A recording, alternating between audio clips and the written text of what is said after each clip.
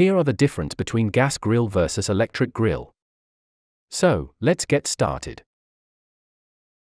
Number 1. Convenience. The convenience of gas grilling is pretty straightforward. Really, all you have to do on most models is hit the igniter and adjust your burners. Within minutes, you'll have your burners to the proper temperature and you can toss dinner onto the grates to start cooking. Gas grills are more than capable of handling your Memorial Day, 4th of July, and Labor Day staples like hot dogs and hamburgers.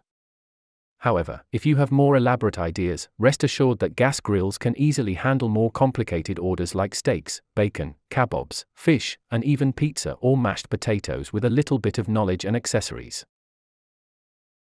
Number 2. Burners. Gas grills have at least two burners, and the nicer or larger grills can have 6 8.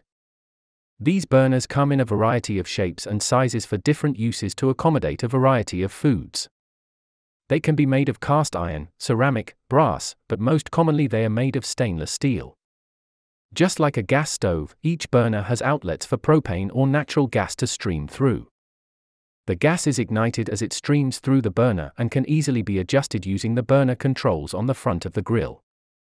This gives the user complete control over cooking temperature. Having more control over the grill temperature allows steaks to be seared to the perfect blue rare at higher temperatures or cook ribs low and slow at a lower setting.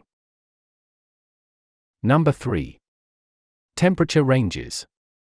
One of the biggest benefits of a gas grill is being completely in charge of how hot it gets. This kind of control gives users a way to manipulate cooking time that infuses flavor into ribs, chicken, and steak. Often, pre-packaged foods like kebabs or stuffed chicken come with cooking instructions. If these directions call for searing the meat for 2 minutes on each side, then lowering the temperature to medium heat. Number 4. Which one is better? Living in smaller condos or apartments may hinder your ability to use a gas grill due to safety constraints.